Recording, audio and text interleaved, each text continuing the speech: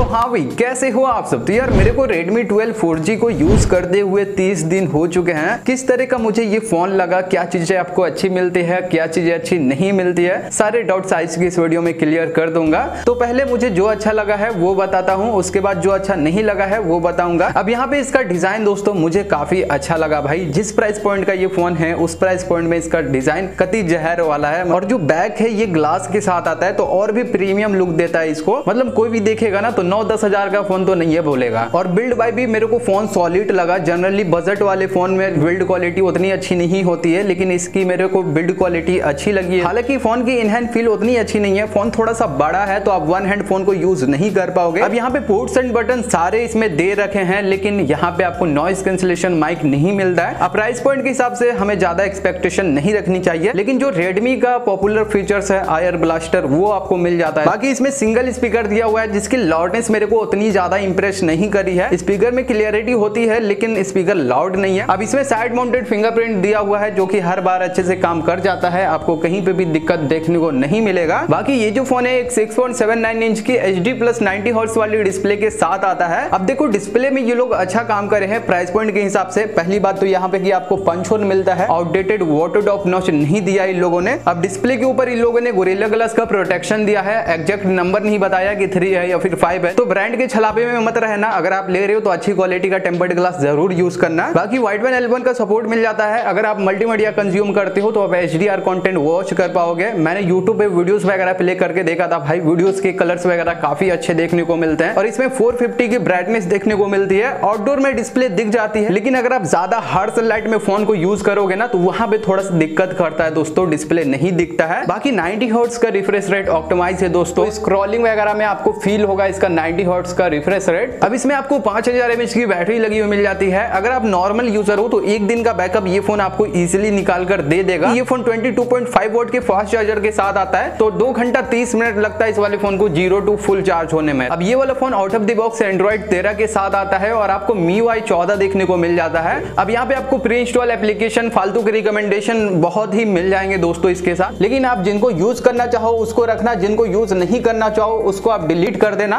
उसके बाद आपको एक क्लीन एक्सपीरियंस मिलेगा। तो सॉफ्टवेयर अच्छा है, मेरे को कोई दिक्कत नहीं है, कहीं पे भी जिटर वगैरह देखने को नहीं मिला मुझे। यहाँ पे रेडमी के साथ लोगों का पास्ट बहुत ही बेकार रहा है भाई। लोग अभी भी डर रहे हैं इस वाले फ़ोन को लेने से कि भाई ऐसा ना अपडेट पुश करे और मर्डर बोर्ड डेड कर दे। अब देखो भाई रेडमी वाले कुछ सुधार कर रहे हैं पहले के कंपैरिजन में। वैसे तो वन काफ़ी पॉपुलर ब्रांड था। अभी उसके भी फ़ोन में अपडेट आ रहा है और डिस्प्ले पे जो है लाइन आ जा रही है। तो कहीं ना कहीं सभी ब्रांड के साथ दिक्कत होती है, इसके साथ भी था। लेकिन टाइम टू टाइम कंपनी उसको फिक्स भी कर देती है। और अभी तक आपको वीडियो पसंद आ रही हो तो वीडियो को एक लाइक करके चैनल को सब्सक्राइब ज़रूर कर दे दोस्तों, जिससे ये वीडियो ज़्यादा लोगों तक पहुँच पाएगी और तुम्हारे भाई की हेल्प हो जाएगी भाई। खैर, यहाँ पे बात करते हैं इसकी परफॉर्मेंस की तो इसमें आपको मीडियाटेक का जी का प्रोसेसर लगा हुआ मिल जाता है। मैंने इसकी अंतुतो इसको निकाली थी, दो लाख के प्लस की इसकी अंतुतो इसको निकल के आती है और बेंच पे और सीबीयू थ्रोटलिंग पे भी स्टेबल होता है भाई ये प्रोसेसर अगर आप बीजेमाई जैसे गेम प्ले करोगे तो आपको 40 एफपीएस की गेम प्ले करवा देगा। और जब तक आप नॉर्मल गेमिंग करोगे, तब तक आपको कोई प्रॉब्लम नहीं मिलेगा दोस्तों। लेकिन अगर आप हेवी यूज़ करने लगो हेवी गेमिंग करने लगो मतलब भर दिन घुसे रहो गेम में ही तो उस कंडीशन में आपको दिक्कत मिलेगा।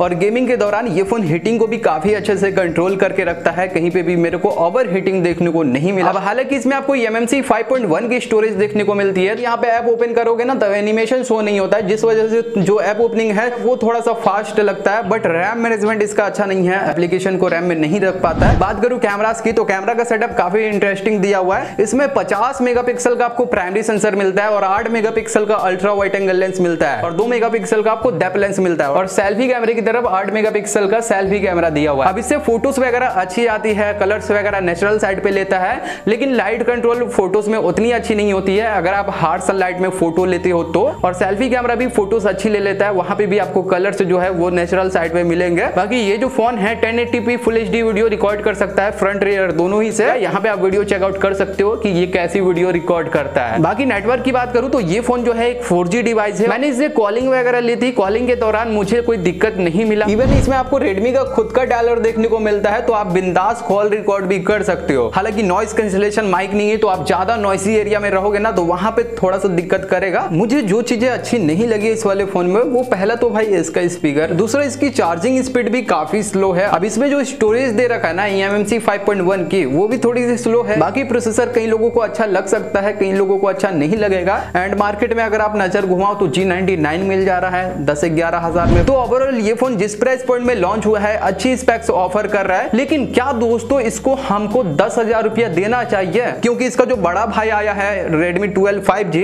वो बारह हज़ार रुपए का आता है। अब बारह हज़ार में हमें 5G लेना चाहिए या फिर दस हज़ार दे के 4G लेना चाहिए, इसमें काफ़ी लोग कंफ्यूज होंगे। तो चलो मैं आपकी वो कंफ्यूजन दूर करता हूँ। वहाँ पे देखो Redmi 12 5G में आपको एक बेटर चिपसेट दिया जा रहा है 5G के साथ। बाकी सारी जो चीज़ें है ना, दोनों ही फ़ोन की सिमिलर है दोस्तों। तो क्या आपको बेटर प्रोसेसर के लिए और 5G के लिए दो हज़ार एक्स्ट्रा देना चाहिए? तो मैं आपको कहूँगा कि अगर आप इस वाले फ़ोन को दस में ले रहे हो और ऑफ़र वगैरह में आपको नौ का भी मिल जा रहा है तो आप ले सकते हो। लेकिन अगर आप ग्यारह हज़ार रुपये इसके लिए पे कर रहे हो तो आप एक हज़ार रुपये और एड करके फाइव वाला ले लो। वो बेटर है। बाकी आप बताओ अपनी राय। आई होप कि आपका सारा कंफ्यूजन दूर हो गया होगा। और अगर आपको वीडियो एक भी अच्छी लगी हो तो वीडियो को एक लाइक ज़रूर कर दो। चैनल को सब्सक्राइब कर देना और बेल नोटिफिकेशन को ऑल पे रखना। चलिए मिलते फिर से किसी और ऐसे वीडियो में। तब तक के लिए बाय बाय मेरे भाई।